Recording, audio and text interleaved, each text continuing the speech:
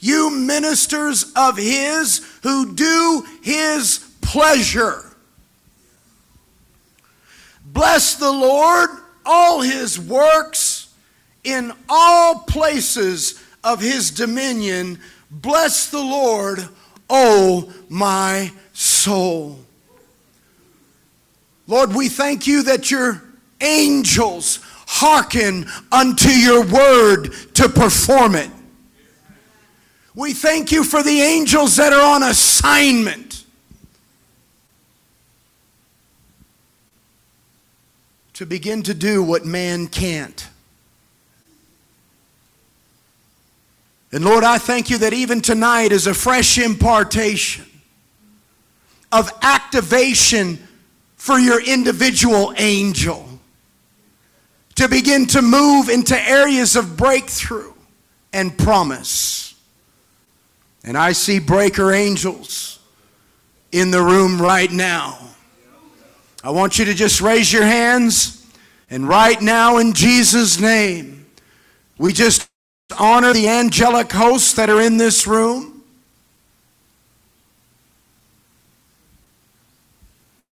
And I thank you for breakthrough. I thank you for the fulfillment of promises. We honor you. And we say, Thank you, messengers, that you've come to fulfill on this earth just like it is in heaven. Whew. Oh,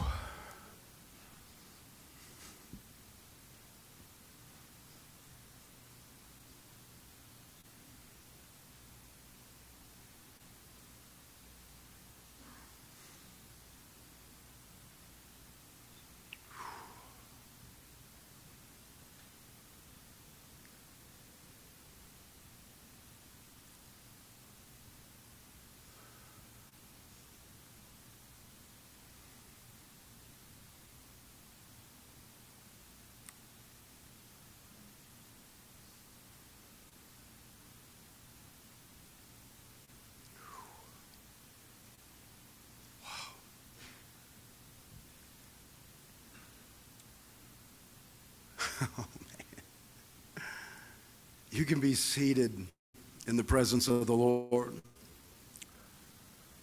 Oh my gosh. How good it is when brethren dwell together in unity. It's like fresh oil that runs down on the beard onto the garment that covers the body. What an ambush. What an ambush. But you understand how significant your role is in a corporate gathering. How good it is when brethren dwell together in unity.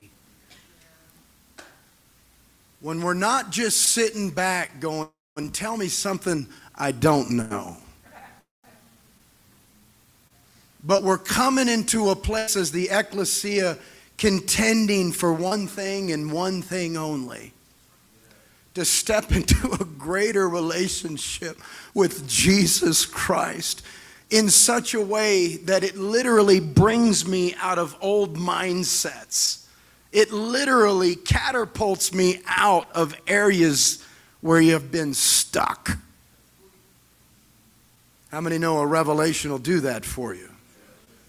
So, Lord, we give honor where honor's due tonight. And make no mistake about it, where the king is, his kingdom is also. You become who you hang around. It's too late, it's already on you. You'll see the fruit of it. No, you'll see the fruit of it. It's like smoke. You may not smoke, but if you get around people who do, and you leave their presence, people will accuse you. It's the exact same thing. You become who you hang around. You get into the presence of God. this presence will remain. It's just looking for a place to happen. Here we are, Lord. Make it happen in Jesus' mighty name. Look at the person next to you and say, Well, the glory looks good on you. You look better than when you walked in here. In Jesus' mighty name. It's my privilege tonight to introduce one of our guests that are with us tonight, Donna Schambach. I met her, and how long has it been? Four or five years or something like that? I met through Katie Souza. Katie Souza. And uh, one thing that um, has been consistent with us is, is we're just not really into meet and greet as much as we're into relationship. Somebody say longevity. And when we met Donna, uh, it was just a kindled, kindled heart. I, I like people that say what they mean and mean what they say. Let your yes be yes and your no be. And uh, that's the first thing that uh, inspired me about Donna. And the second thing was, uh, and I don't know if you even remember this, but uh, I picked you up. This was one of the first times you were with us and I think you were in the downtown Marriott. And I picked you up, and you were asking me about uh, where I was in, in, this local church, and and uh, and I just began to kind of share my heart with you on it, and and you looked at me right in the eye, and you said, "You know what? One of the main reasons of my daddy's success." How many want to know the answer to that? R.W. Schambach is who we're talking about, right? And I said, Yes, I would. And she said, It's his relationship with the local church. And something broke in me that day. How many know that God is doing a new thing? And He's teaching us how to play well with others.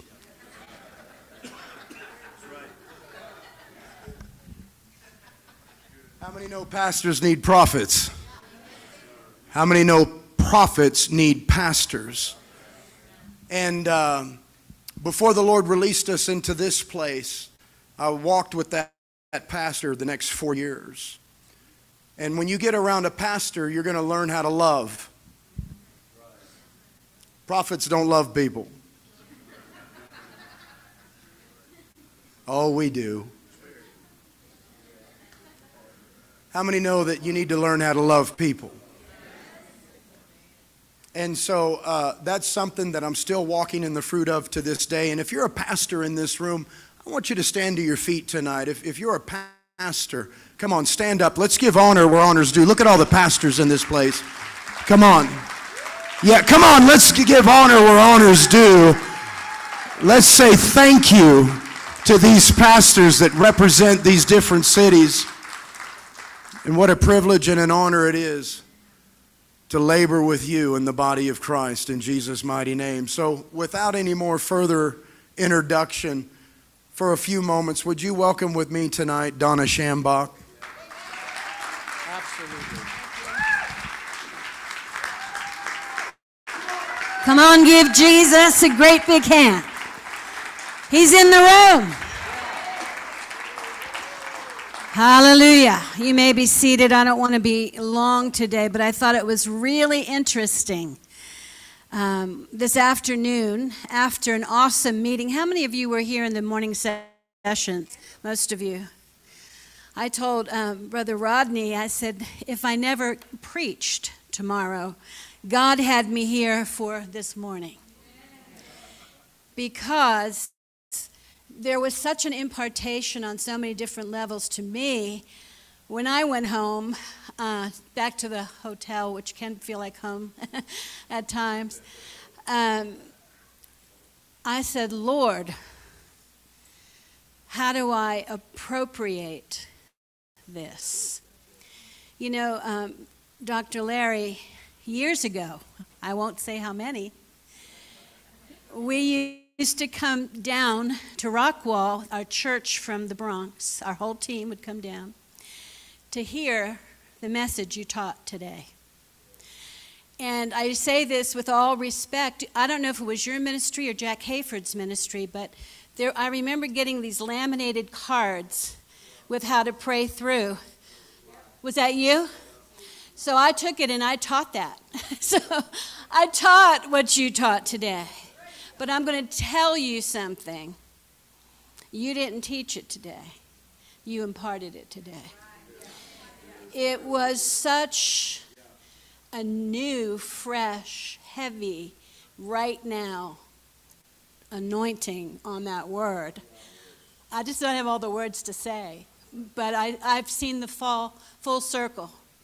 And I, I just pray that God opens so many doors for you because this is a generation that needs to learn this truth.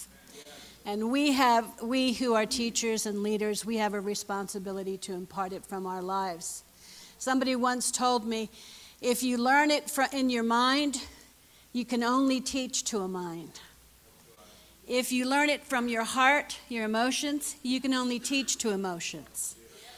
But if you learn it from your life, and it's real in your life, then you can impart, impart it. So um, today, the Lord spoke to me and said, You're going to sow into that word. Because the other thing some of you may have known is Brother Greg got up and gave me a few choice words. And you want to talk about being blown away?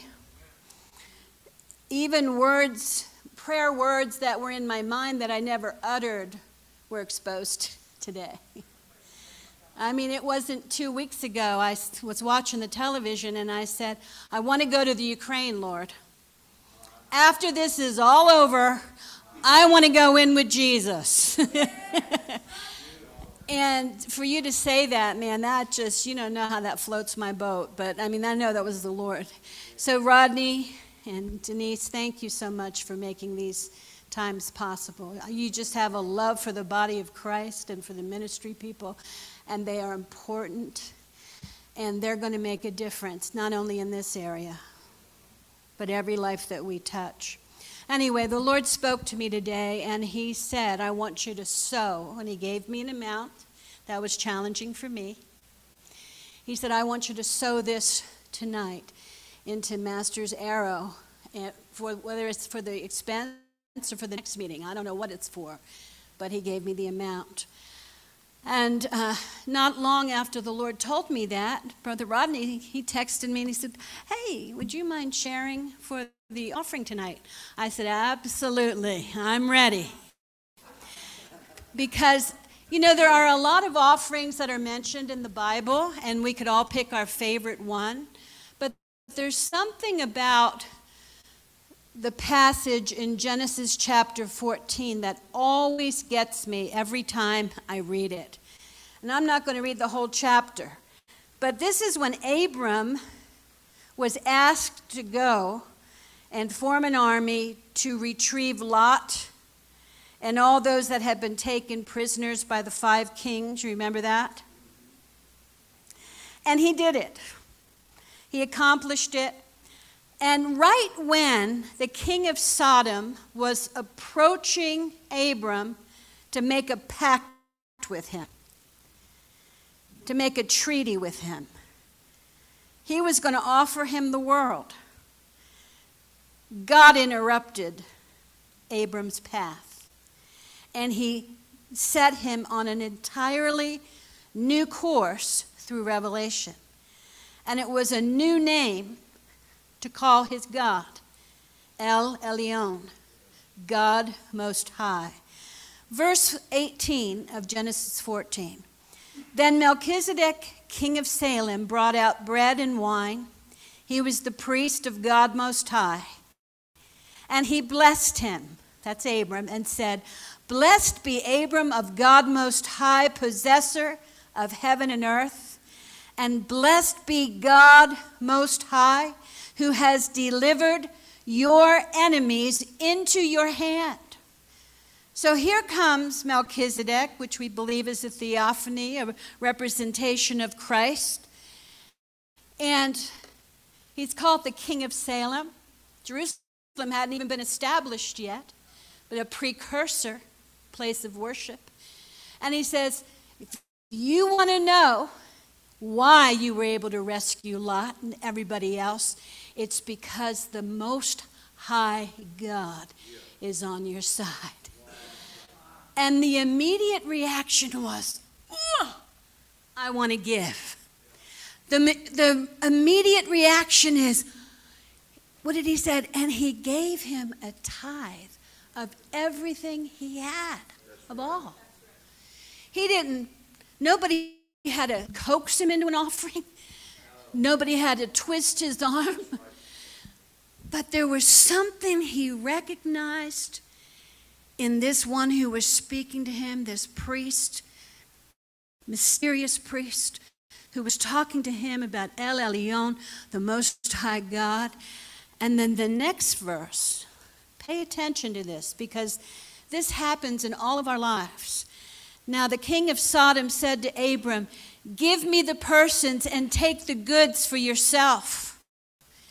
But Abram said to the king of Sodom, I have raised my hand to the Lord, God Most High, the possessor of heaven and earth, that I will take nothing from a thread to a sandal strap, and that I will not take anything that is yours, lest you should say, I have made Abram rich.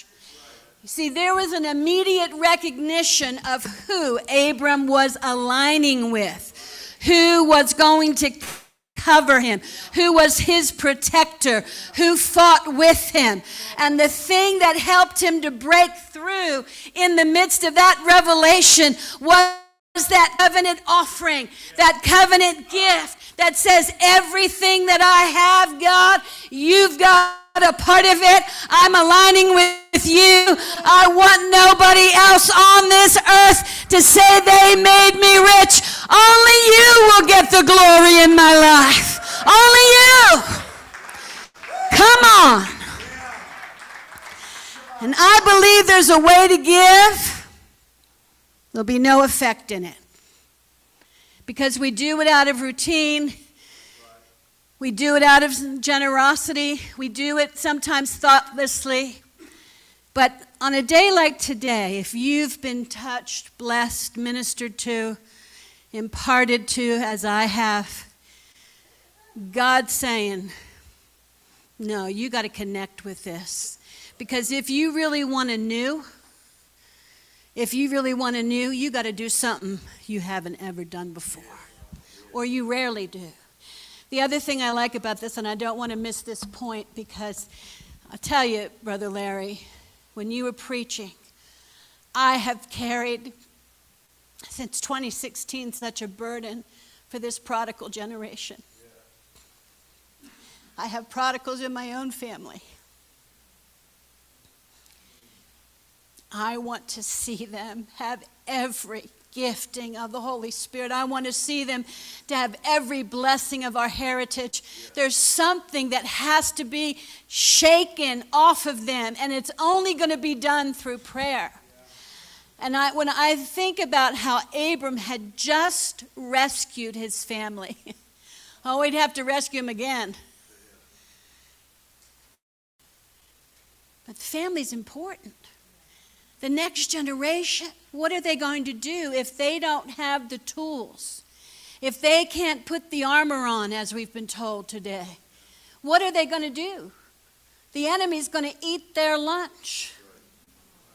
We have to sow into the next, into the new. It's not about our ministries. It's not about some, making our name great. It's not about about being fulfilled in our destiny. It's about seeing what God's going to do on this earth and what is our part in that. Does anybody believe that with me? I'm going to ask you if you would to bow your head. We, I never receive an offering unless we pray first. God may have already spoken to some of you, but I'm going to ask you to ask largely tonight. Say, God, I want to see the Lord Most High. I want to be in covenant with the one who's going to rescue my kids, rescue this generation. I can't do it in my flesh, but I sure can tie into what you're doing in this earth, Lord. I can tie in to this prayer movement, to this secret place movement. I can tie into that, Lord. And so, Lord, I want to sow. Would you put an amount in our hearts tonight, God? It may be a challenge to us. But Lord, we want to be just like Abram. We want to give you what you deserve. Something representative, Lord, of our covenant relationship. Thank you, Lord, for speaking. And now I thank you, Holy Spirit, that you help us to obey. In Jesus' name, amen. If you're making a check, you can make it out to Master's Arrow. There are envelopes you can give by credit card or whatever. Are these the offering baskets? I'm going to let you give the instructions, dear Brother Rodney. But are we bringing it tonight? When you're ready, stand to your feet and then we'll bring our offering. Amen. Oh, man. The envelopes are in the back of your chair. Listen, make no mistake about it. Your giving doesn't bring our breakthrough. My giving brings our breakthrough.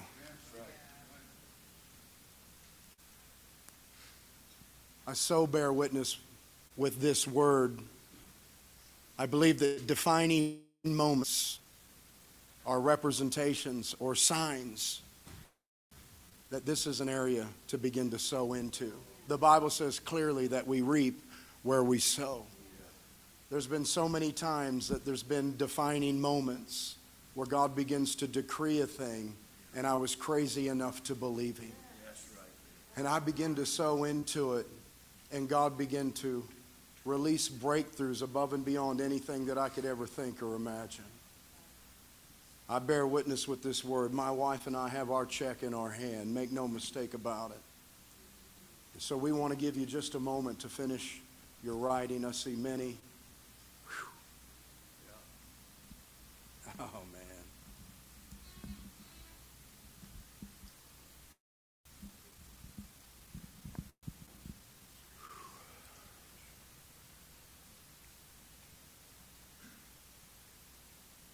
We'd like to have this whole shopping center, Donna.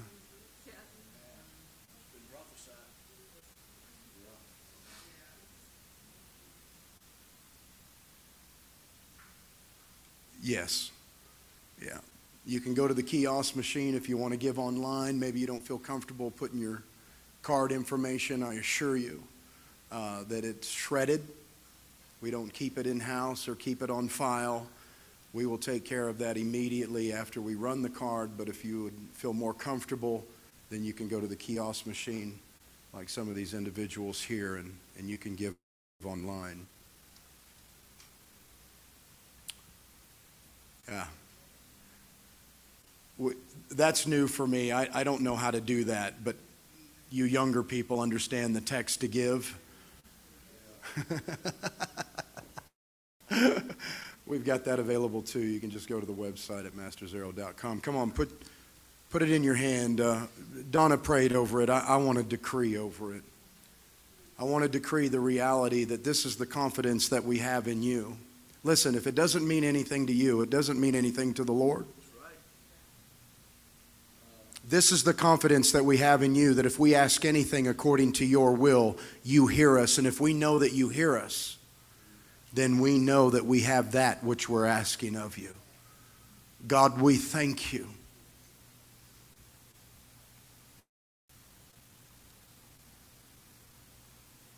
That you're Lord of the harvest in Jesus' mighty name. And everybody said, Amen. Yes, we actually believe that uh, you walk by faith and not by sight. And when there's movement involved with your seed, then uh, we believe that we're stepping into the Word. So if you'd just come, and you can put your offering right there in the well.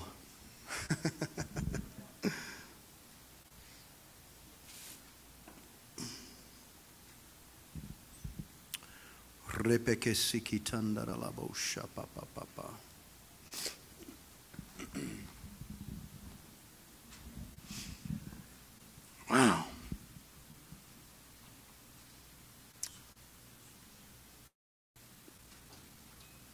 Bless you. Thank you.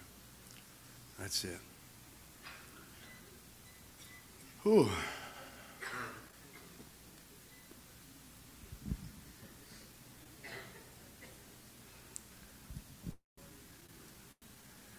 Well, Tag, you're going to be it. Amen. Well, let me give a proper introduction. I tell you, uh, it has been an honor and a privilege uh, to meet Dr. Larry Lea and his precious wife, Leah. Do, do I say that right? Is it Leah? And uh, it's just been a real privilege to briefly talk with them to the extent that I have. But uh, the truth is, um, I may not know him personally, but I know the Holy Spirit. And uh, what, baby? I was born again in 1990. I moved from, uh, from Pennsylvania to Lubbock, Texas. I was going to Trinity Church, and there was Church on the Rock there. I learned how to pray because you taught me. I learned how to pray because I, I started eating the word of Matthew 6.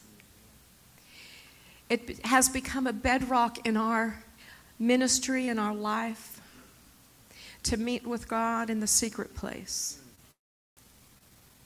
And it is an honor. Dr. Larry Lea, it is an honor to have you in our house. It's my honor. Well, I believe I'm, I believe I have been properly honored. Thank you. Bless you. Thank you, guys. It's such a joy tonight to fellowship with you and with the angels that are attending this meeting. I don't know if you believe in that or not, but I know it's real.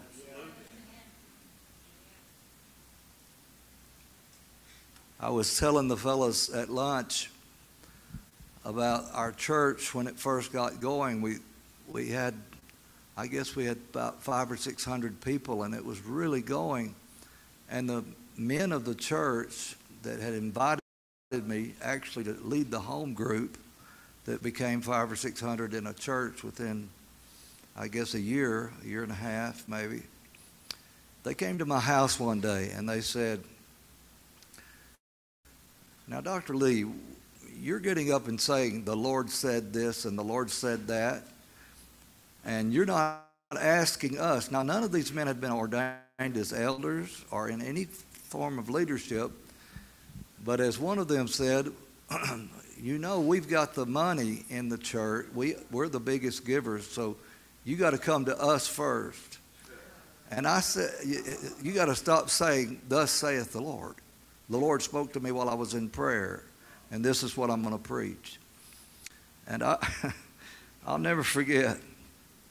I said to those guys, I said, look, if this church is being uh, upheld by your finances, it's dead while it lives, and I'd rather just let it go ahead and die. If, if this is the way all, because I, I could have taken that Baptist church that was being filled with the Holy Spirit with 5,000 members not be out here with all due respect. And I meant that with all due respect because I appreciated them, I loved them, but at the same time, I, I couldn't forsake the secret place. I couldn't forsake what I was hearing, and I couldn't forsake the fact that I was called there to deliver that word. And uh, the next Sunday, as I was driving my little diesel Volkswagen Rabbit. I don't know if y'all have ever heard of that, but I had a little five speed diesel Volkswagen Rabbit driving it to church, and the Holy Spirit said to my heart, You're not going to preach today.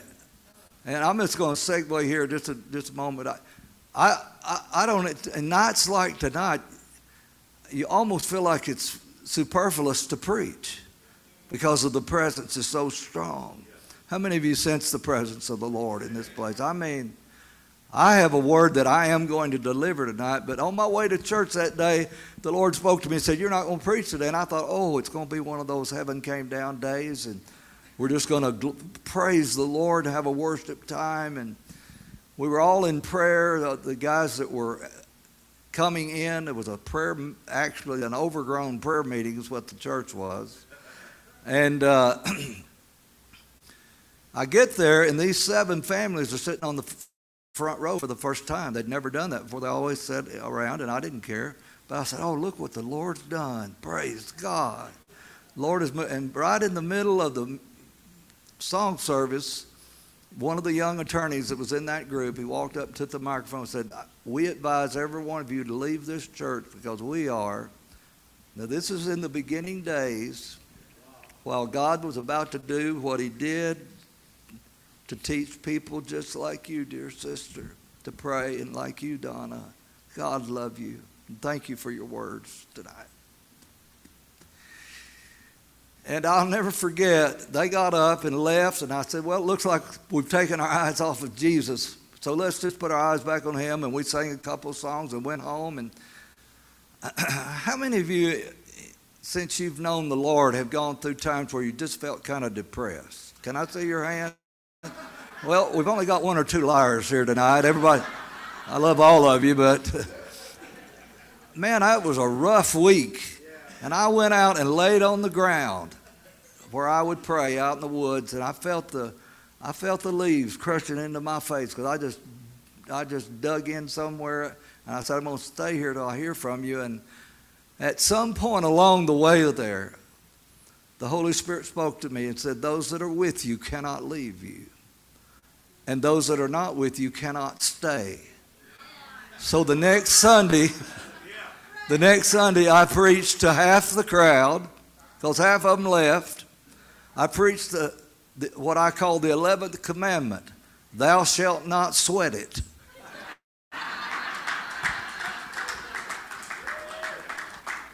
And I said, So we're going to bless those people that left and not worry about it, except to bless them real good. Wherever they go, we pray there'll be a real blessing, and I meant it.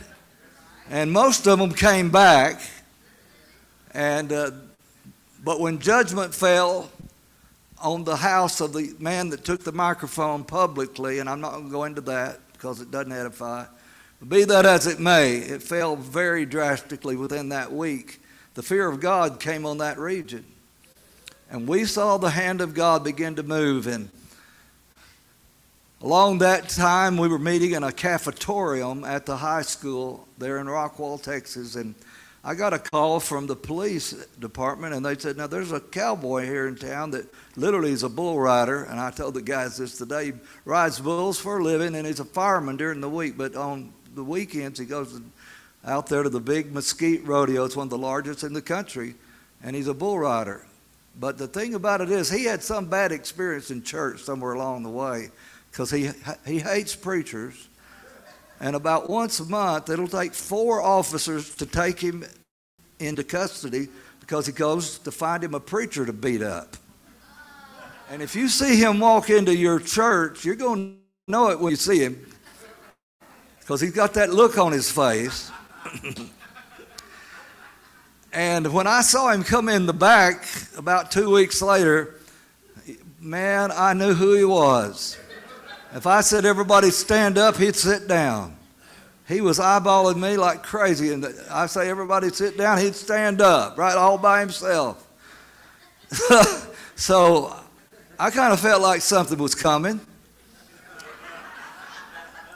And he said, he walked up to me. The first thing he said was, You're either straight from heaven or you're straight from hell, but you aren't anywhere in between. You're not a, you're, you're not a normal preacher.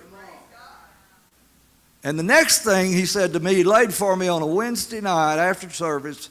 He said, You want to go out to the truck with me? Now, I was alone, I was shut in the building. And he said, You want to go out to the truck with me? I'd been out to the truck with some good old boys like him before, and it never turned out right for me. It never worked out right for me. I'm a lover, I ain't a fighter. But I, I said, Well, my daddy didn't my daddy didn't raise a coward, so I'll go out to the truck with you. We get out to his old Chevrolet pickup. He opens the passenger door. He grabs the work boot and he's thrust it into my chest. He said, Well, there it is.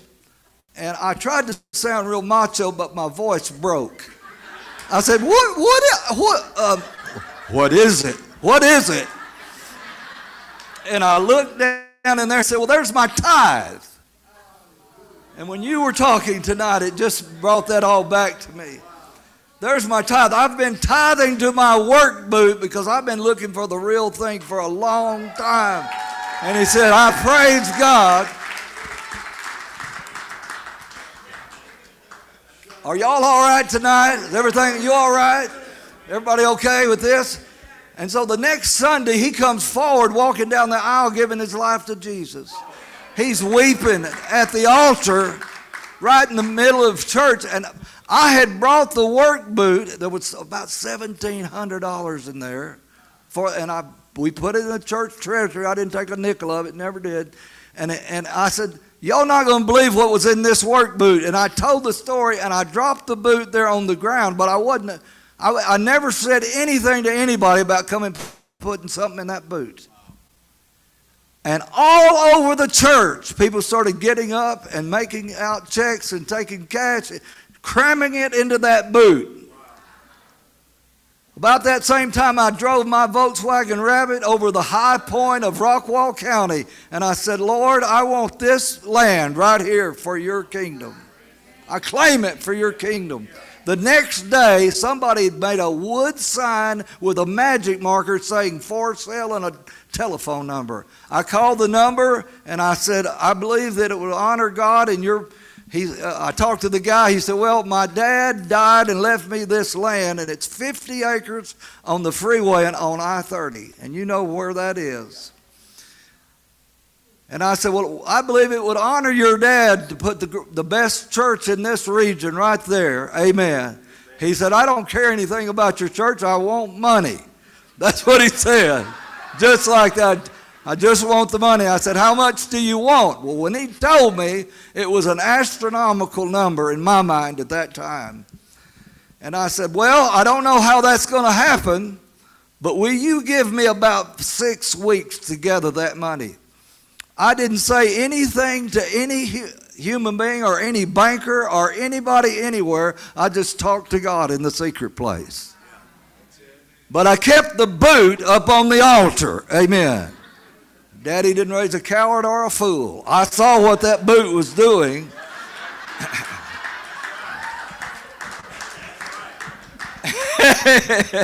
and within six weeks,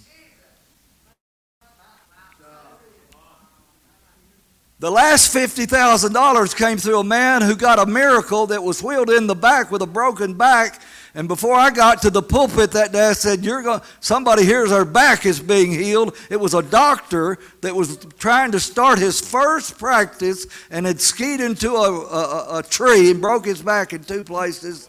And before the music started in church, I got out and said, Somebody's being healed of a broken back. And he said he heard his back go pop, pop. And that afternoon he went and found out that his back had been totally healed. Somebody say, Praise God. We were $50,000 still short, but man, I tell you, money was coming in through, the, through that boot. And I, I was watching that about 3 o'clock in the morning. My, somebody's beating on my door, and it was the doctor that had the broken back. And he said, Here's the, the last $50,000. Handed me a check to buy that land out there. He said, he said to me, I said, Well, Doc, you, where did this, uh, he said, I said, tell me more about this. He says, this is what we saved to start our first clinic. Can I tell you what happened to that doctor in the last few years, or the last 20 something years? He's become a multi gozillionaire. How many of y'all understand what I'm saying? He is somebody who, uh, who, who loves Jesus with all his heart but when he sowed that last seed that planted that place where the Lord told me to, to use that land where we built those buildings and started preaching on prayer that went all over the world and still is, praise God. It was not built by the bank, it was built by the boot. And so there are times you just need to say, Praise God, look what the Lord has done. And I, I, just, I just wanted to say a huge amen to what Donna was saying because when the Holy Spirit inspires you to sow something, let me just tell you, when He said, Prove me now, prove me now, that's the very same word for thou shalt not tempt the Lord thy God. He said, This is such a sure thing that when you sow, like Abram did, of his tithes to the Lord, he said, You can put me to the test on this. You can even tempt me with this. This is a guarantee. How many believe the Lord's going to bless everything that's being sown into this ministry tonight and beyond? And I'm gonna, I'm gonna, I'm gonna live long enough to see you get the shopping center and some more stuff too. Amen. So just praise God. Now, can I just give you one more thing about the cowboy?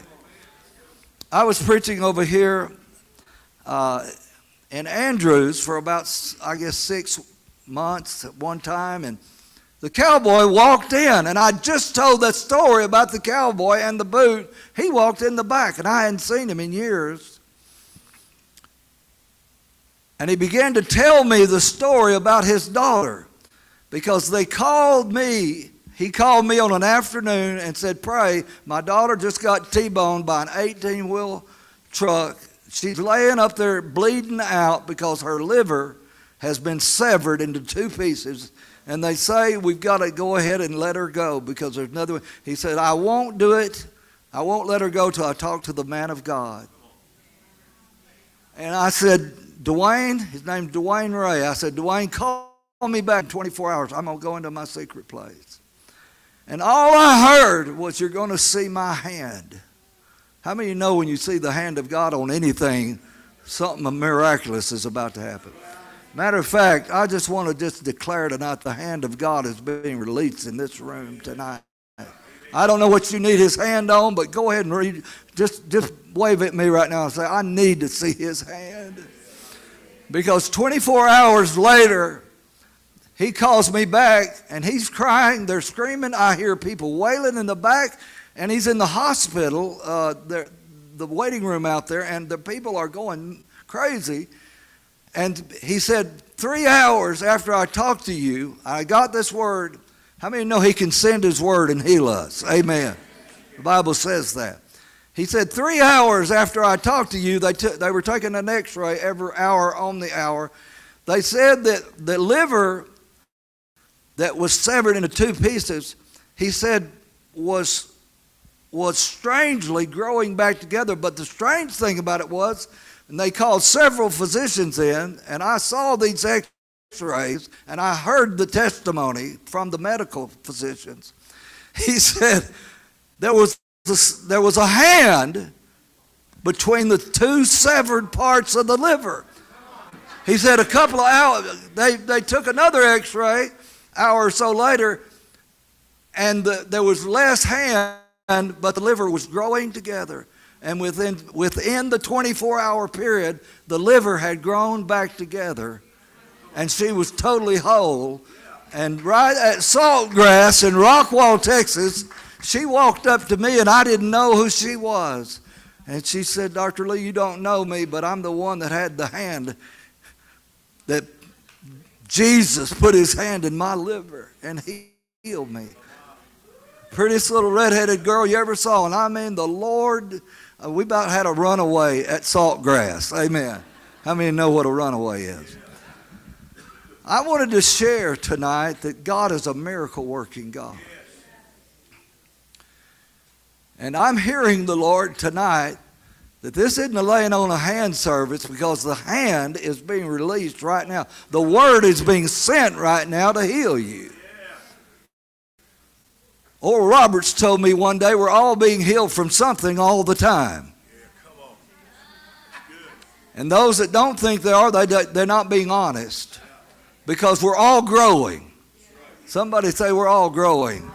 Now, and say, I know I am. Amen. And the Lord dealt with, dealt with me tonight to share with you about the speaking of the blood. Because in the early days of this prayer ministry, how this revelation came to me was not through Bible study. Although I'd been through four years of university with three years of Greek and then six years of seminary. That's a, somebody said, What do you want to get out of seminary? I just said, I just want out of seminary.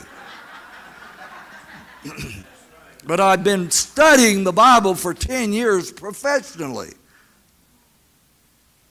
But I had never seen this in the scripture. When I went and prayed with the man of God at 5 a.m. for 18 months, one morning I said, Lord, I've got the desire to pray, but I don't have the discipline of prayer in my life. How many know that prayer moves in three levels? It goes from desire to discipline to delight. Think about that. And I said, Lord, I've got such a hunger and a desire, but Lord, teach me to pray.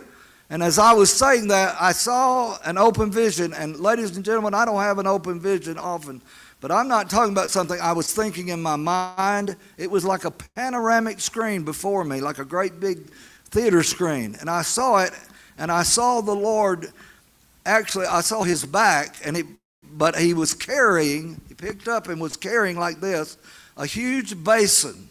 And it looked like it was platinum or silver, but no doubt platinum, and he emptied the contents of that basin onto the altar of the Father. And the Father I saw was an immutable light. God is a spirit. That's talking about the Father. And those that worship Him must worship in spirit and truth. And all of a sudden, I, when the blood hit the altar, I started hearing the blood speak. You know what he was saying? He was speaking the Hebrew names of God. He was speaking the names of God from the Old Testament. How many know that there were many names, like one mentioned here by Donna tonight? But I was hearing Jehovah Tsidkenu, the Lord my righteousness.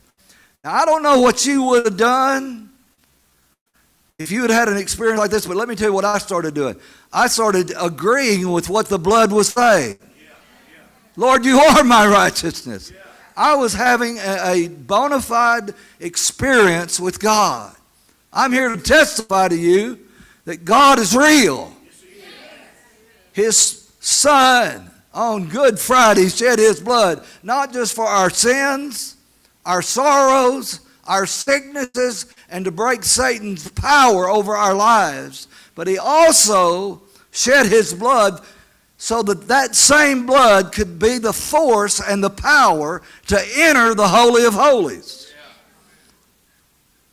The blood is the transportation vehicle, if you will, that pulls you out of your flesh and moves you into the realm of the Spirit. I'd never had any experience like this before. In all the years we'd been praying in the Spirit, we'd been walking with God, we were living holy before the Lord. We were preaching and getting people saved. But I'd never experienced this Shekinah. See, that's where this revelation came from, guys. This is why God took it and put it all over the world. And I can go nowhere in the world, and my dear wife will tell you, we go nowhere that people don't come up and say the words you said to me. And I'm more shocked about it than anyone because I thought the Lord just gave it for me. But he wasn't giving it just for me. He was giving. And then I heard Jehovah Shammah. I heard Jehovah Makadesh. I heard Jehovah Rapha. I heard. I was hearing the names being spoken, and I said, Lord, I'm. and anytime I, I preached for years, I said, if you think you're having an experience with God, go and try to find it in the Bible. Because if it's not clear in the Scripture, then, then you better look, look twice. You got to find it. And so I was rereading the book of Hebrews, and I got to Hebrews chapter 12 and verses 23 and 24. It said, you, And to Jesus, the mediator of the new covenant. This is in Hebrews 12, about verse 23 24. The mediator of the new covenant and the blood that speaks. Yeah. Yeah. Better things than that of Abel Cain killed Abel, but every man that ever died, their blood spoke for something. Because the life is in the blood.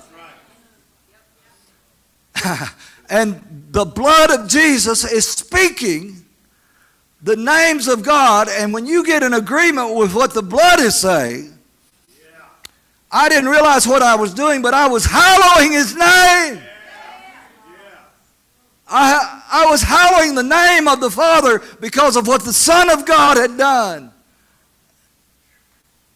And the blood was speaking and declaring over my life who I was in Him and who He was for me.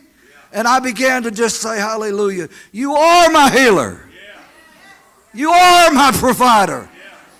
When you declare who He is, He becomes that in your experience. You are my salvation. I heard all, all these names. You are my shepherd. I shall not want. And I said, Lord, show it to me somewhere else in the Bible. And I turned back to Hebrews chapter 10, verse 19. And y'all might want to look this up because it's right there. It says, We enter the Holy of Holies, or the holiest. We enter the Holy of Holies. And get this now. We enter the Holy of Holies by the blood of Jesus. I was led on this Good Friday all day long, and all I heard was tell them about what happened concerning the blood. This is where this revelation came from.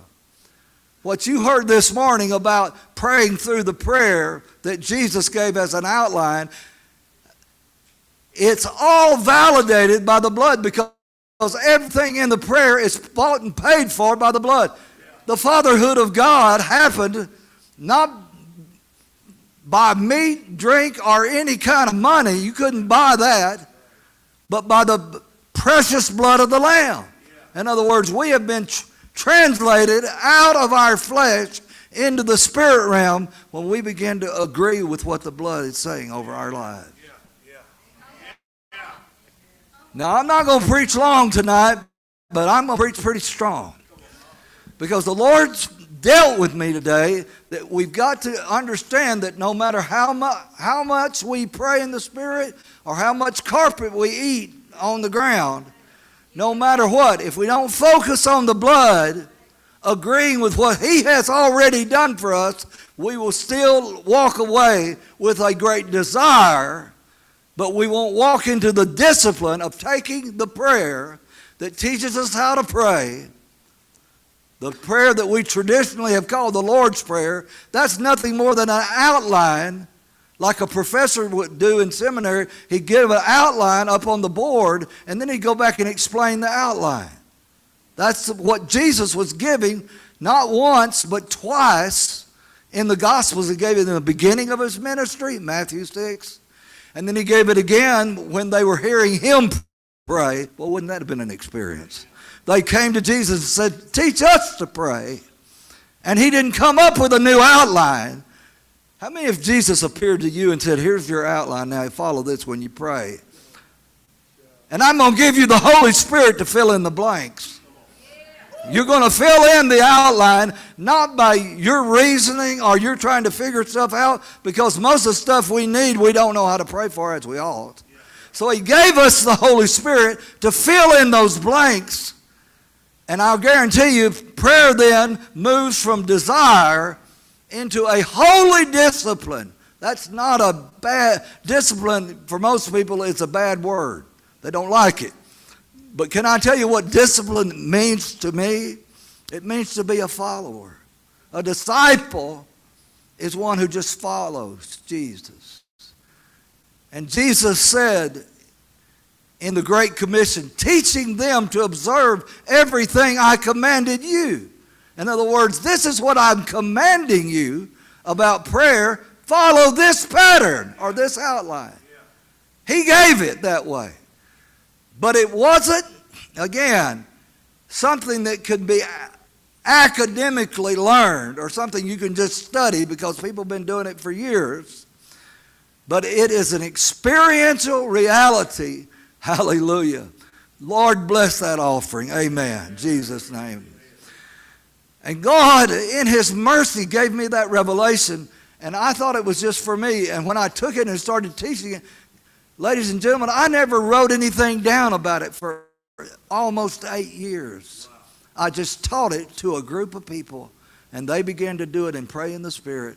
And the rest of the story are cowboys with boots and broken back doctors and stuff that you can't put, you couldn't make happen in a hundred lifetimes. And so I challenge you tonight as we praise God for the blood of Jesus. Could you just, for just a moment, just close your eyes and lift your hands and say, Lord, thank you for the blood. Aren't you appreciative tonight that on, on Good Friday, some 2,000 plus years ago, He bled. And when His blood hit the earth, it caused the earth to have a nervous breakdown. But when hit the altar, hallelujah, it began to speak the names of God Almighty. And Lord, we praise you tonight that you're our righteousness that you, by the blood of Jesus, have become our sanctifier. You are, Lord, the one who will never leave us or forsake us. You are our healer. Come on and praise Him with me because that's what the blood is saying about you. That He is your provider, He is your protector. Hallelujah. And if you and you see the spirit and the blood agree, and so you'll find yourself breaking out in the spirit, praying in the Holy Spirit, and then that amplifies your Shekinah presence, and it's an everyday thing. Amen. Because as you get to that part of the prayer where you begin to put your foot down, because you see, when you get in His presence, you don't just get in His presence to be in His presence, you get there to do kingdom business. Come, kingdom of God. Be done, will of God. It's like a man, look up at me for just a moment. It's like a man putting his foot down and declaring, I know you have a kingdom. How many believe that? How many believe that God's got a kingdom? God's got a will for your life. How many know he didn't wake up this morning, look down at you and say, Oh no, what am I going to do with that one? You know. He knows exactly what he wants to do, but he's waiting for you to agree with him. Put your foot down and declare nothing but the will of God will be done in my life today. And you pray it over you, then you pray it over your family, you pray it over those you love, you pray it then over your pastor and over the church and over the ministry that you're serving and that is serving you. And you'll watch as you pray it in prioritize order. Hallelujah. Your life will start getting into order because you got your rudder right. How many y'all know what the rudder of your life is? It's your tongue. Your mouth is set on what God has set his heart on. And can I just go ahead and tell you, he's got his heart set on you. I'm not going I'm not going to brag too much on Jesus, but I'm going to do my best. Amen. Hear me now. He doesn't he, he, he doesn't love you. He's in love with you. That's why in Latin they called it the passion of the Christ.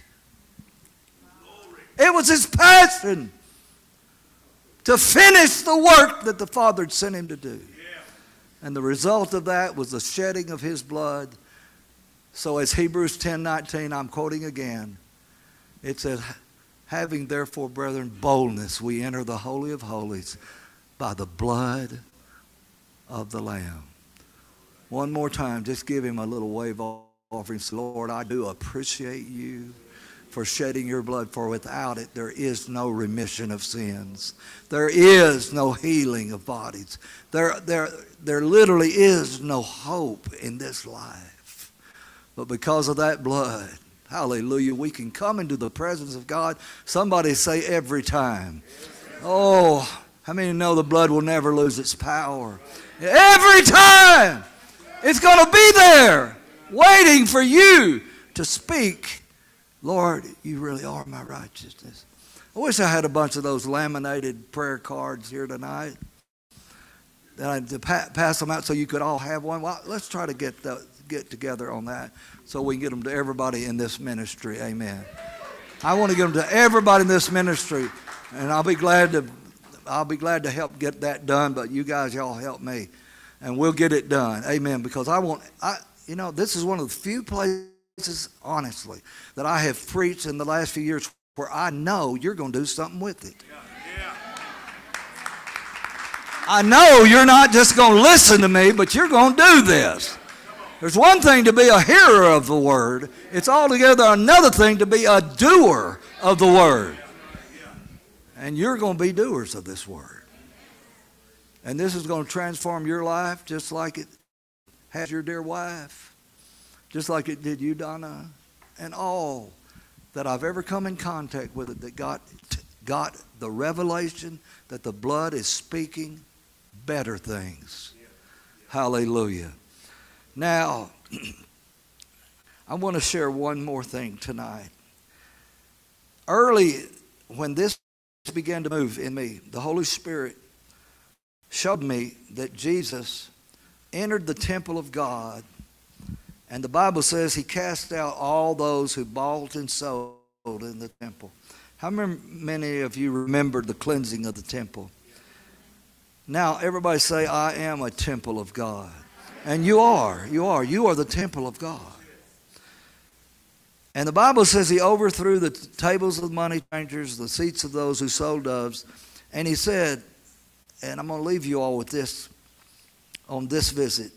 And he said to them, It is written, My house shall be called a house of prayer.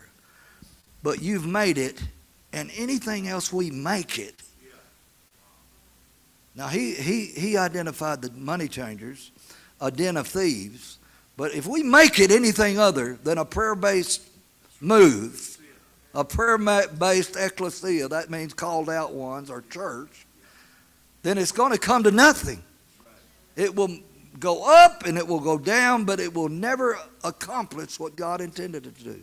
Jesus said, It is written, My house shall be called a house of prayer, but you've made it something else. You've made it a den of thieves. Now, watch this. Then the blind and the lame came to him in the temple, and he healed them. And when the chief priests and the scribes heard the wonderful things that he did, and the children crying in the temple, saying, Hosanna to the Son of David, that's the same way of saying, Hosanna to the Messiah. They were indignant, they were angry. How many of you know that when the Spirit starts moving, some get glad, but some get mad? And said to him, Do you not hear what these children are saying? He said, Yes, but have you never read that out of the mouths of babes and sucklings thou hast perfected praise?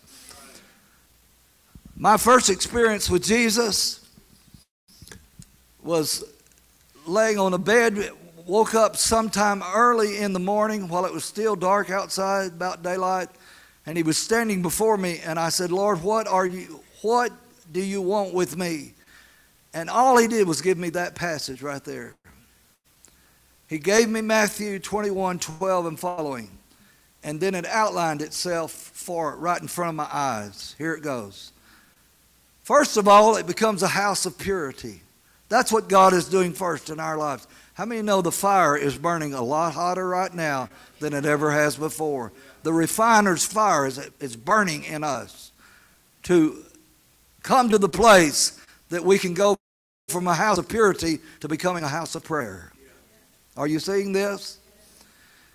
After you become a house of prayer, the blind and the lame will come and, they, and he healed them. You become a house of power. Becoming a house of power will result in becoming a house of perfected praise. Now, did you see that transition? I didn't think this up, okay? This is, was given to me by the Holy Spirit. He said, This is a prayer cycle that you will go through over and over in your life as you go from faith to faith and glory to glory. In between those growing phases of your life, and we all agreed a little while ago, we're all growing. Amen. You will go through a season where you will experience again the refiner's fire, a house of purity, He'll point things out. He'll call you to be some things and not do other things. He'll change you on the inside. Amen. Then you'll find yourself experiencing a greater presence, hallelujah, of being a house of prayer. How many of you know you're called to be a house of prayer? Somebody said, Well, I'm not called to be an intercessor. I said, Boy, wait just a minute. Are you called to follow Jesus? Because his ministry was just going from one place of prayer to the next place of prayer, all the way to the Garden of Gethsemane, all the way to the cross. Then he was raised from the dead, and he said he's seated down right now at the right hand of the Father. And guess what Jesus is doing right now? He promised me years ago that when I started preaching like this on prayer, he would start praying for the people that are in the room. So I've got to go long enough for him to pray over all of you. And if you think I'm kidding, I'm not kidding. Oh, so, so, so I don't preach long, but I preach strong until he said, I got them all. He's praying for you right now. What's he praying? That you'll transition from one level of faith to a higher level of faith, one level of glory to a higher level of glory, and in between you'll find yourself becoming a house of purity, a house of prayer, then you'll start seeing miracles, a house of power. Where doctors have their backs healed and livers grow back together and stuff that just couldn't happen. The doctor told me my sister was dying because she had fourth level cervical cancer. And I said, Well, that's, the, that's your facts, but I'm going to tell you the truth. I was sitting in his office, the doctor, me, and my sister. And she, they'd say, Well, we're going to have to do an emergency surgery just to see if we can save her life. I said, Well, the, you've got facts, but I know truth. He said, What are you talking about? He got mad. Now, I'm going to tell you, got really upset. I said, Here's the truth. By his stripes, she's healed. And he quickly escorted me out of his office.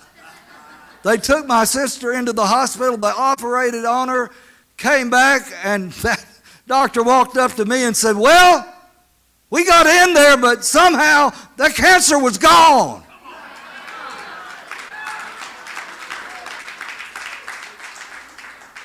I said, Doctor, what happened?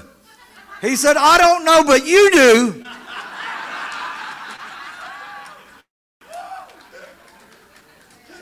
And I could go on and on and on. But he's still praying for people right now. Thank you, Jesus. God knows. The Father knows. I got to have him praying for me.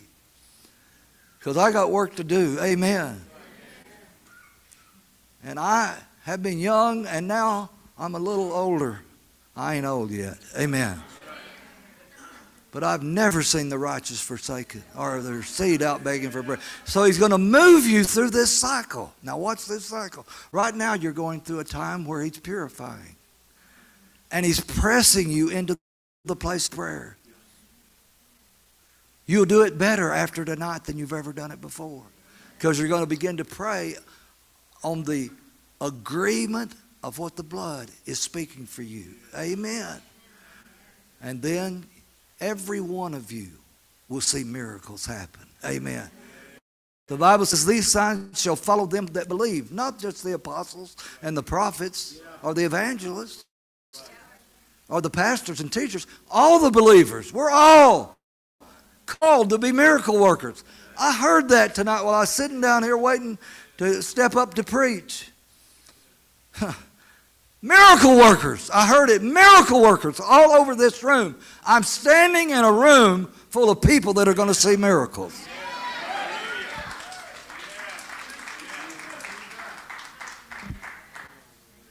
And the devil can't do anything about it. Amen. There's some things he can't do anything about. So once you become a house of power, then you'll go to that level of a higher level of worship, a house of perfected praise. And I thought it was beautiful that he mentioned the children. Amen. Yeah. Have you never read? Because unless we come like little children and say, Lord, I'm still growing, I'm still reaching, I'm not, I haven't gotten to the place. Amen. I've praised God. You see, he's praying for people right now. And they're responding. God is moving by his spirit in this room tonight. And I don't really know how to close this meeting because you never close a meeting like this. You just ask the Holy Spirit to do what He wants to do. And what I felt in my spirit is that everybody that's in agreement, I'm ready to, for, to be a house of purity so that I can become a greater house of prayer, so that I can be a house of power. And I can experience being a house of perfected praise. Everybody in agreement with that. That's a cycle you'll run through your life until you go to be with the Lord. So wherever you are in that cycle, don't judge anybody that's not on there. Listen, we're all coming to our Father through Jesus Christ, but we're all on our own individual ladders. And if somebody's not, not at your level on your ladder, don't judge them for not being there. Just believe God that wherever they are, He is merciful, gracious, and understands it, and He is working in you to will and to do for His good pleasure. He's at work in you. That's why you're here tonight. You wouldn't have wanted to come out on a Friday night. It's Friday, isn't it? It's Good Friday, isn't it? Amen. Hallelujah. It's Good Friday. And he said, Preach on the blood, but then show them this divine cycle. Because you're going to go through times where he's, he's going to say, This has got to go, that's got to stay. Purifying us. So gentle, but so powerful. Then we agree with what the blood is saying. You're my righteousness. You're my sanctification. Lift a hand to the Lord right now. You're my healer. Amen. You're my provider, oh Lord. You're my protector, oh Lord. You are my shepherd. Hallelujah. Now, if you have a prayer language, just go ahead and release it for a moment because I feel such an anointing right now. And I feel like I am through here, but he's not through. Dila moha satira mamuriata deondo. Morikiva sote.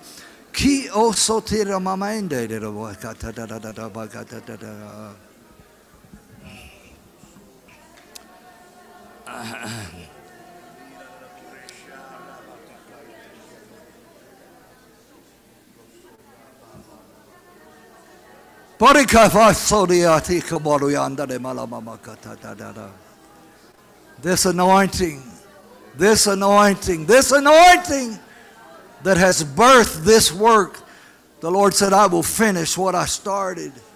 And you will live to see the fulfillment of the promise that I've given you in your heart. Hallelujah. You will not die, but you will live and declare the glory of God for what He gives you to do while you still live in your body. Amen. In the mighty name of Jesus, I declare it.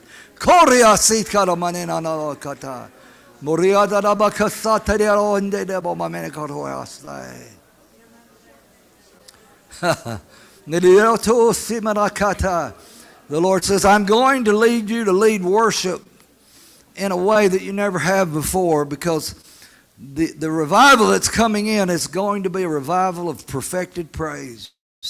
There's going to be such a move of praise that you're going to begin to literally come into services and the worship's going to be so strong you won't be able to break it. And you'll know you can't do it, so you got to go ahead and just write it on out.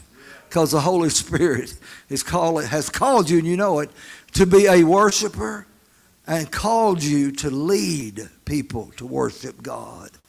Let's all say, Praise the Lord. Hallelujah. Hallelujah. Hallelujah. And I'm just hearing it. Amen.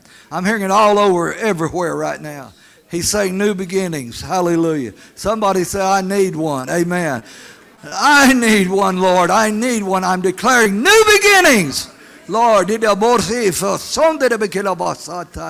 new beginnings, new beginnings. Father, I thank you that, that we are thankful for what you've done in the past. It's like nothing that's coming in our present and in our future. You said that the people could not get through the closed door, that they've been knocking and the door would not open because of, of one thing that they would not release the past so that they could experience the present and not be afraid to run through that door as the Lord opens it. And so, Lord, we're asking you now for the courage. Come on.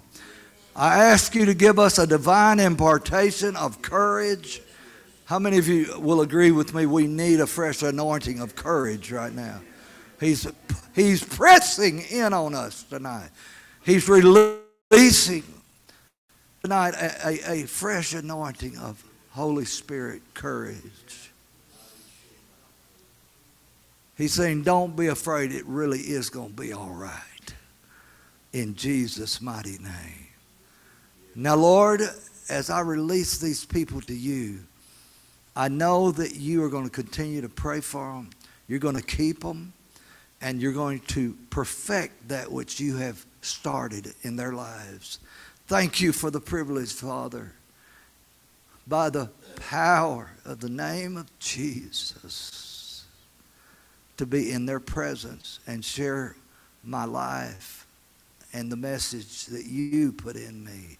Let it now grow and let it expand all over Amarillo and throughout this region, God, that you've given me a promise, we'd cut in the moment, any day, that there would be a outpouring that had never been seen before and will never be seen again after it happens because of your imminent second coming.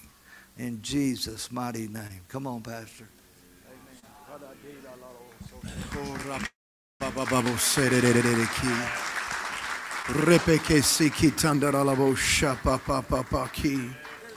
Rabo sandara labo.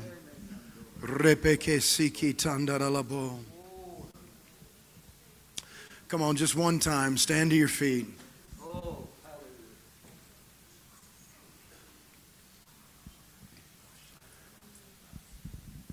Grab the hand of the person next to you.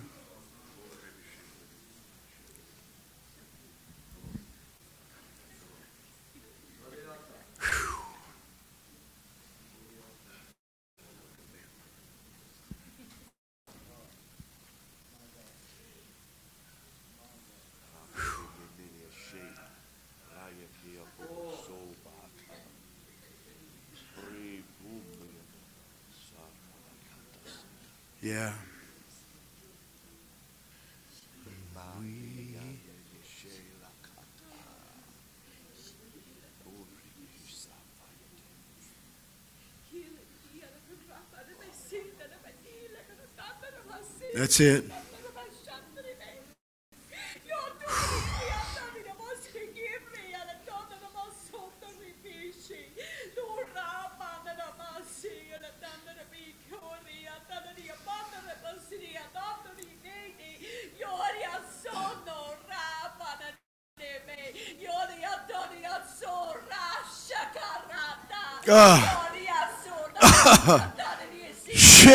dandere le beste pekia. Ye pa dandere le bosanda dalaka. Sheba pa pa pa ki. Out of your belly, out of your belly, out of your belly. Shapatara labo. Rebe sapapa terelema. Rebe sapapa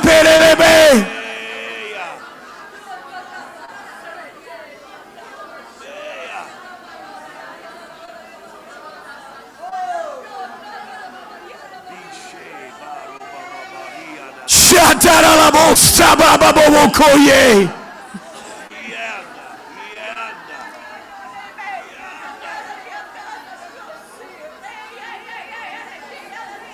Rapasambondoko rebesa papa.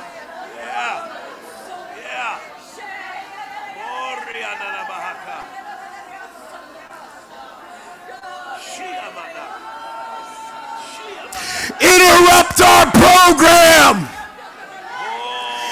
Interrupt our program. Interrupt our program.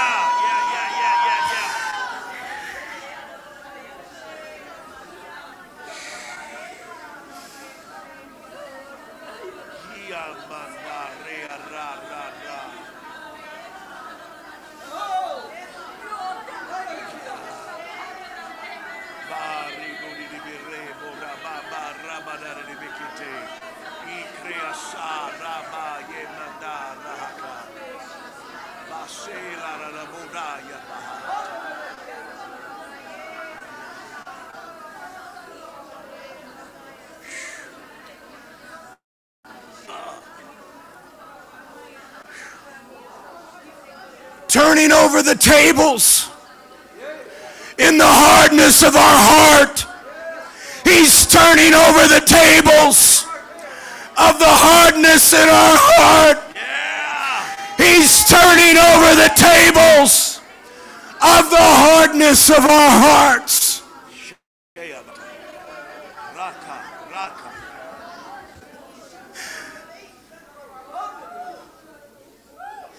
My house will be called a house of prayer.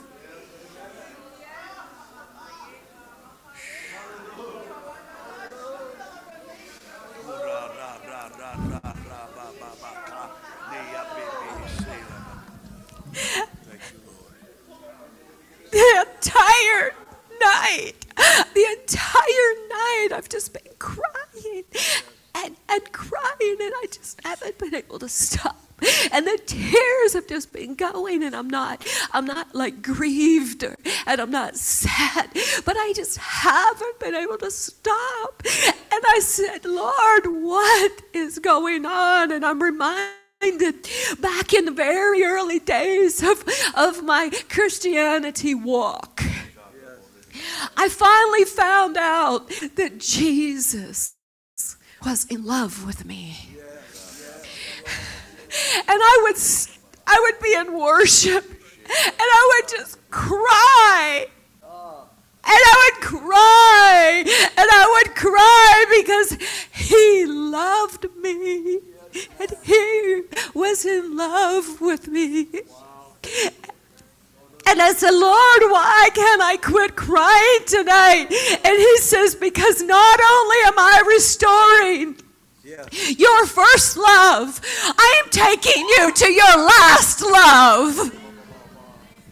All of those things that you have loved that have been put before me, I am shaking them and I am taking them out of your life. All of those gods that have been placed before me, I am taking them and I am shaking them out of your life. I am becoming your Lord. I am becoming your God. as the rich young ruler came to Jesus and asked, What do I need to do to be saved? And he said, Jesus said to him, Give everything, give everything to me. And he left grieved. And the rich young ruler left grieved. He left grieved. And why did he leave grieved? Because he had so much that he wasn't willing to give. And the Lord says, Will you count the cost tonight? Will you count the cost tonight? Will you count the cost? I want all of you. I want all of you. Will you count the cost tonight? Will you follow him? Will you follow him? Will you say, Yes, Lord, you will be my Lord and you will be my God?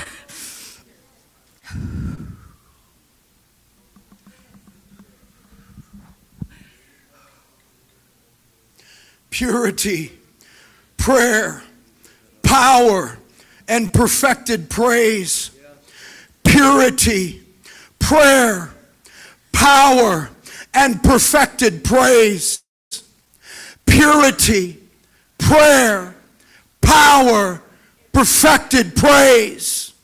Purity, prayer, power, perfected praise. Purity, power, purity, perfected praise. Again. Purity, prayer, power, perfected praise. Ah! Perfected praise. That's it.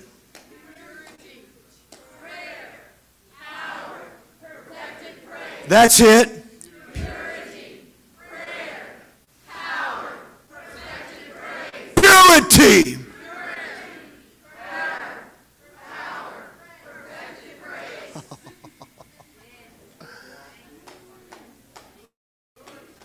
He said to sing unto the Lord a new song.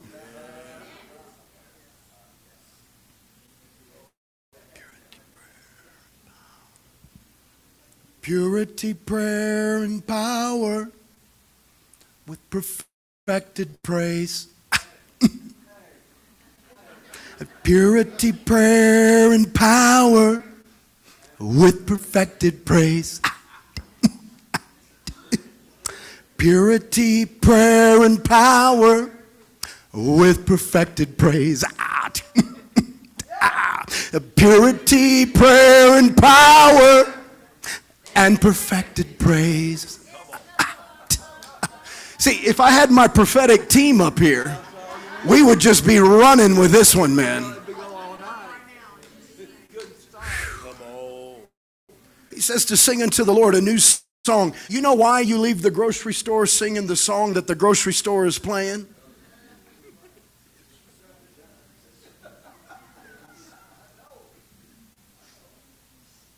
So, Lord, I just thank you for the new songs that are in this room tonight.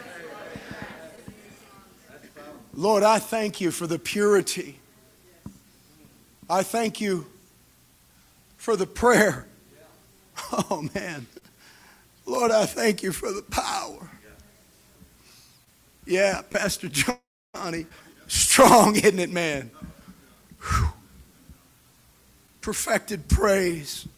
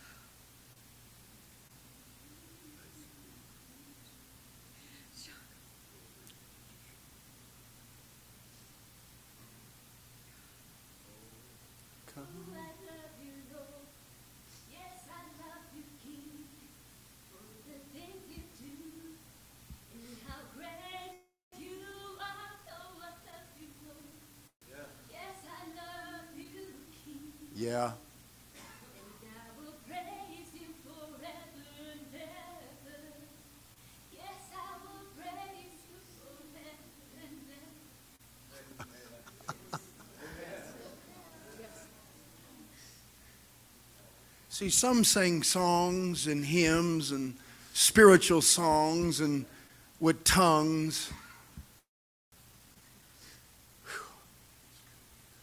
We're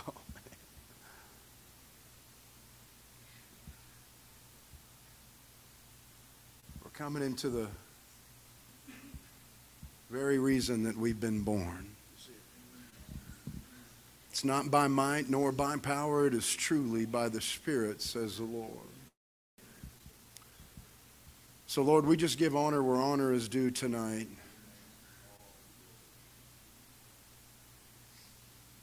And that's the blood that speaks a better word.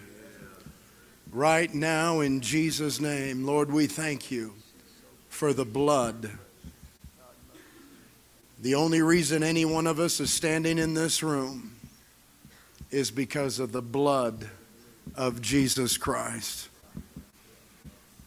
And Lord, we honor you and we say thank you that this is truly the weekend that is associated to Passover, and Passover is associated to the beginning of miracles. As the year begins, so the year will be. So, Lord, we commission ourselves into purity, prayer, power, and perfected praise for the beginning of miracles. In Jesus' mighty name. And everybody said, Come on, can we give Dr. Larry a God bless you?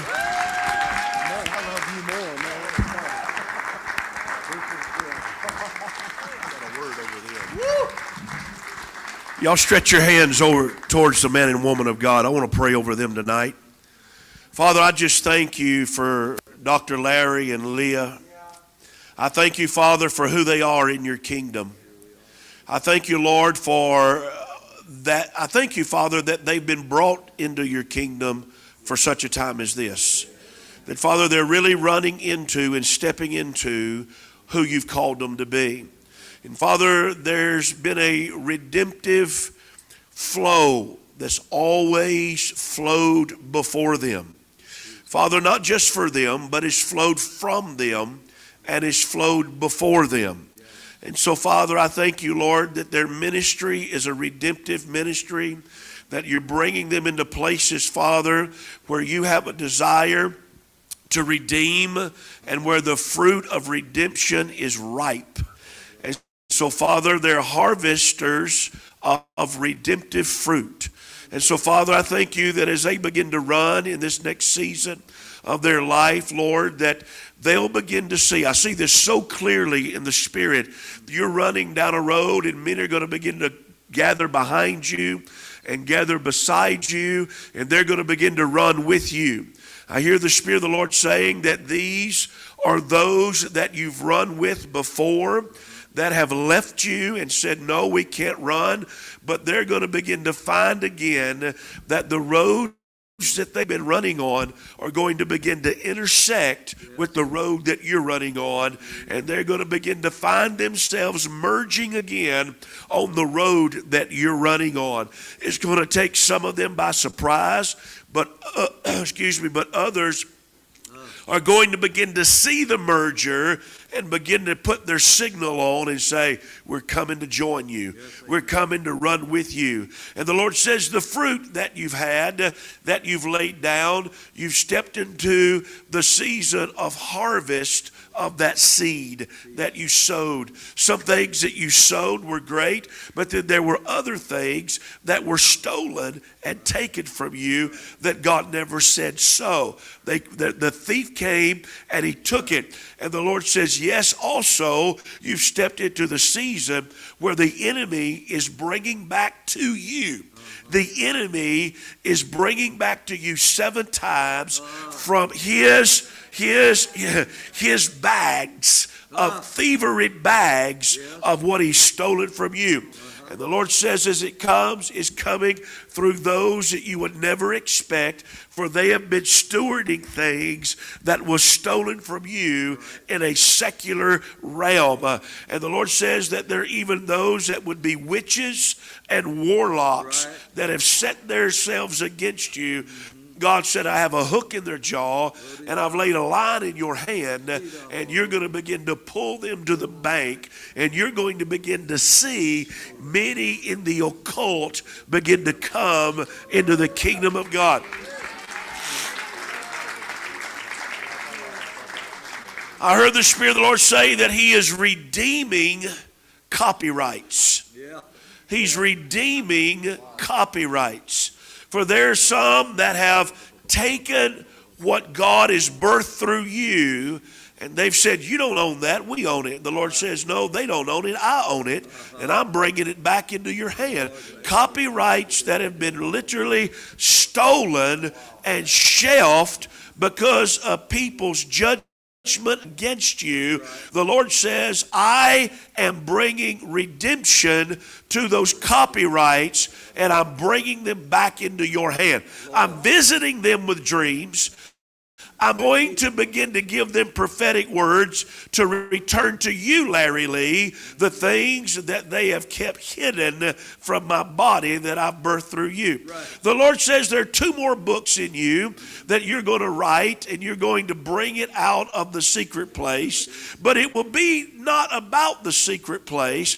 It will be, one will be about the alignment of my body from the secret place, and the other one will be signs and wonders and miracles. For God is bringing you into a place that He is restoring upon you the working of miracles. For there have been two fathers, two spiritual fathers that have been in your life that have stepped into the unseen realm, and their mantles have not been picked up. And the Lord says, I have hidden them. Oh, there have been many that said they took them, but no, they did not. They picked up something false. But the Lord says, I'm bringing the mantles of these two fathers into your life and, up, and upon your shoulders for this season. You'll wear it and you'll run with it and it will manifest for you as you begin to call for those that are sick and demon possessed.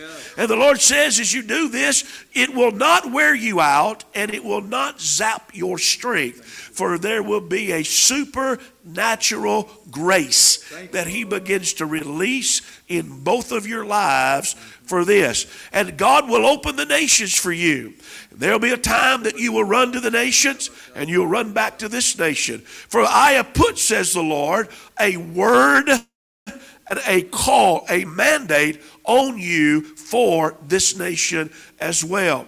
And you will begin to find yourself dreaming about conferences. And the Lord says, It'll be my dream, it won't be your dream but I need to dream that dream through you to get it in the earth again. And you, I, the Lord says He's going to visit with you about a yearly conference in this nation to begin to bring a rebirthing of what He's birthed through you.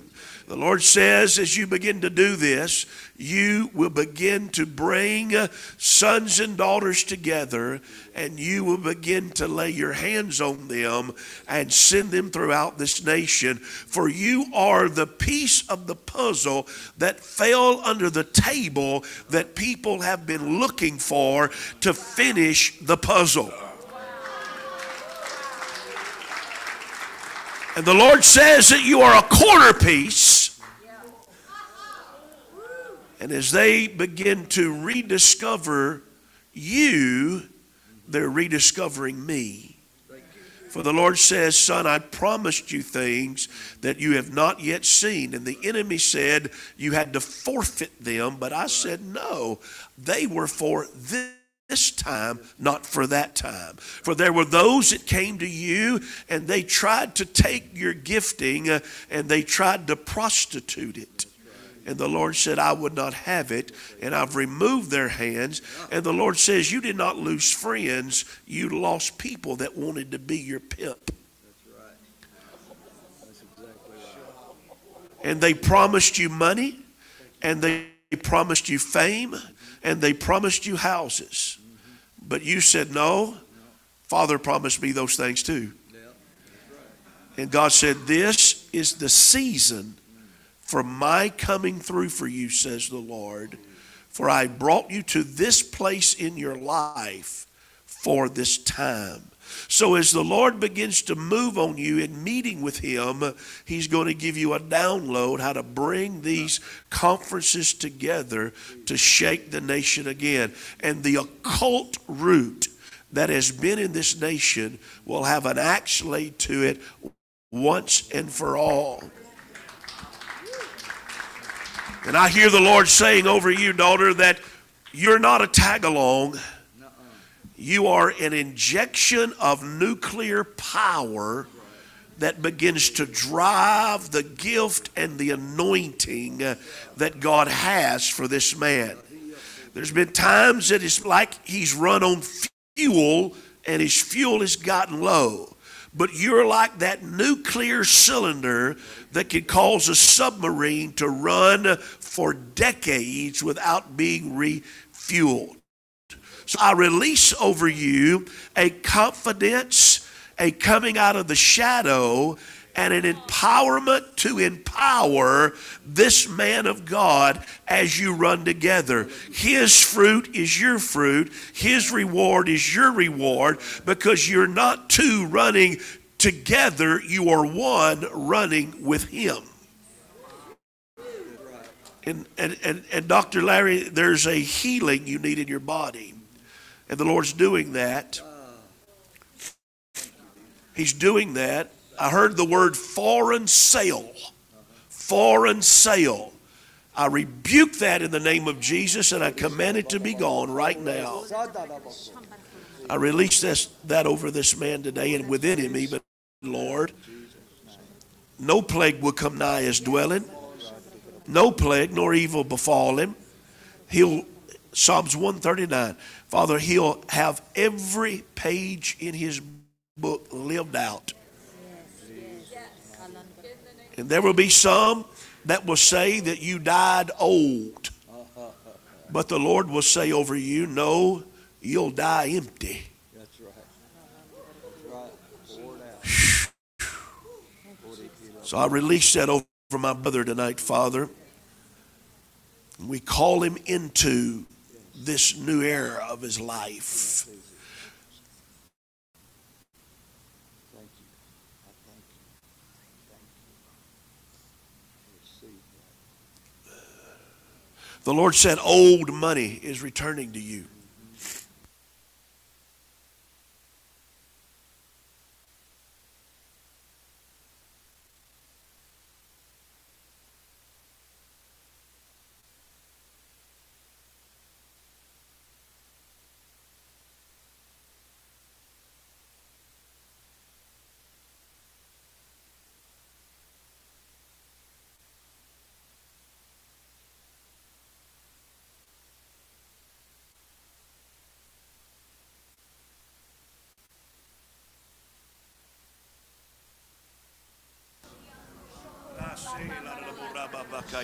Hallelujah.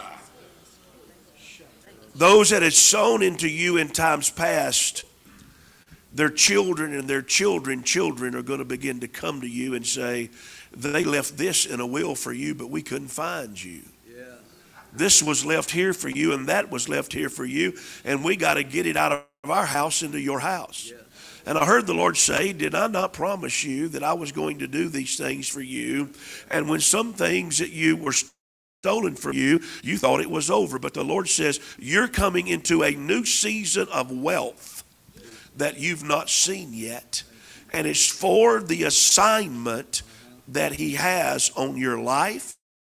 And the Lord says also, it's not just on your life, it's on your children. Yes, amen. And the Lord said, I'm redeeming your children into the call, the apostolic mantle.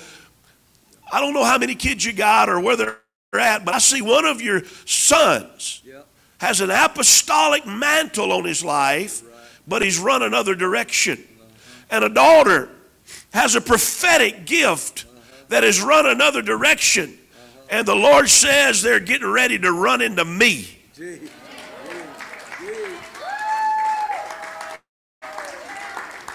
And the Lord says that I'm making their path slippery. Yeah, yeah, yeah, yeah. And they will not be self made, they will be made by me.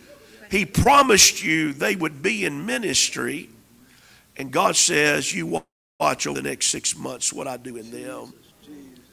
So, Lord, I decree into this prophetic word His children are coming into their apostolic and their prophetic calls. Father, they will, they will step into it. I decree that there's a grace coming upon them that they will be able to forget those things which are behind them and press violently in to the call that you have on their life through Christ. So, Father, you've heard this man. And I thank you, Father. You said this is the season of answered prayer. Maribushaya mantokayate. There be a, even grandchildren. The Lord said the legacy will be for many and multiple generations.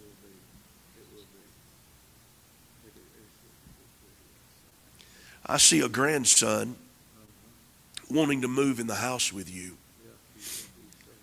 And the Lord said, Bring him in.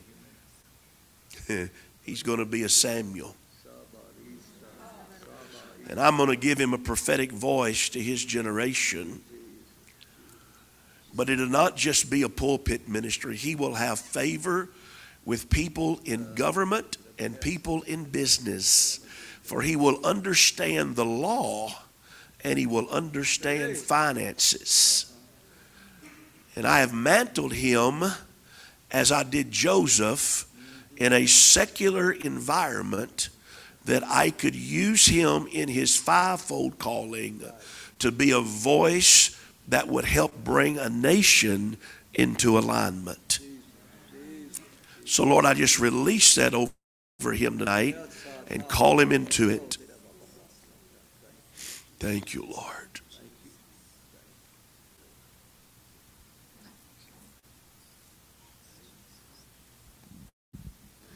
Daughter, even your the fruit of your womb.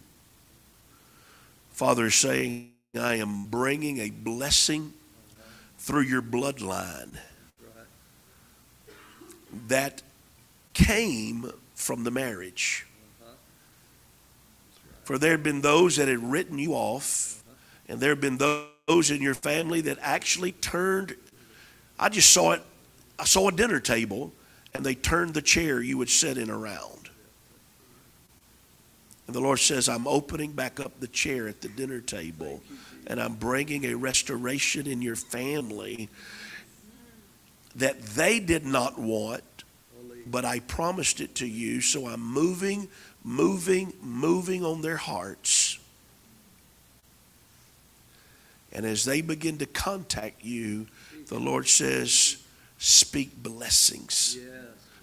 For as you release it, it's going to melt them and God said, I'm going to restore to you what the enemy stole because you married a man I told you to marry. So, Lord, I release that over her tonight in Jesus' name.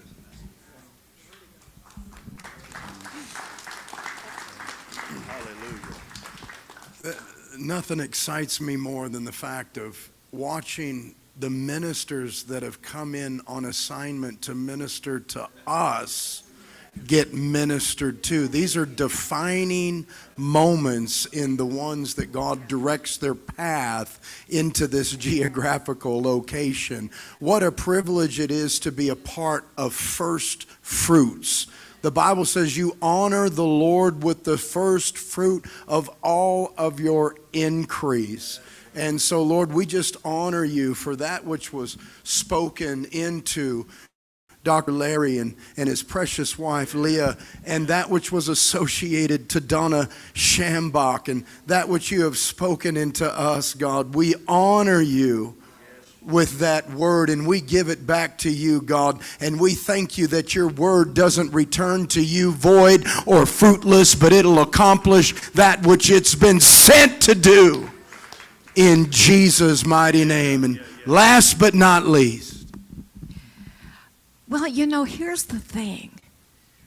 Just like your dreams are movies, and mine are more like commercials, so will my word be to you. but what, and I was not going to do this, and I argued with the Lord, and He still told me I needed to do this because when you were mentioning the copyrights, and the copyrights that were stolen from you. God reminded me that when I was writing my book, I had written out all the scriptures from the Passion Translation that were that said godly lovers or lovers of God. And I made this beautiful book. And then I found out it was a copyright infringement. And the Lord challenged me and said, I told you to write a book. And so the next thing you know, two books came out of it. But the, the one, the first, is a secret place devotional from Matthew 6. Our Father who art in heaven. It has exhortations and proclamations and meditations and a place for your own little things. And I, as the first fruit, because I didn't even realize it till Rodney started talking about meeting you and talking to you. I had forgotten my history. And I had forgotten because some of this stuff came back from like 2012 that, that God brought it out of. But I had forgotten. And God is bringing that out for people to remember their heritage and to remember their future and where they're going. Thank you so much. Thank Bless you. you. Thank you. Amen. Oh.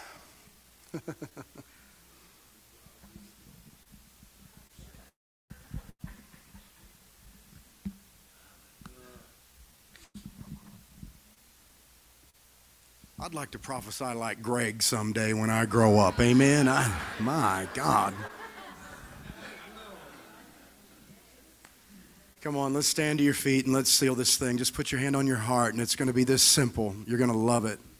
You ready? Repeat after me. Be it unto me, according to the power of your word.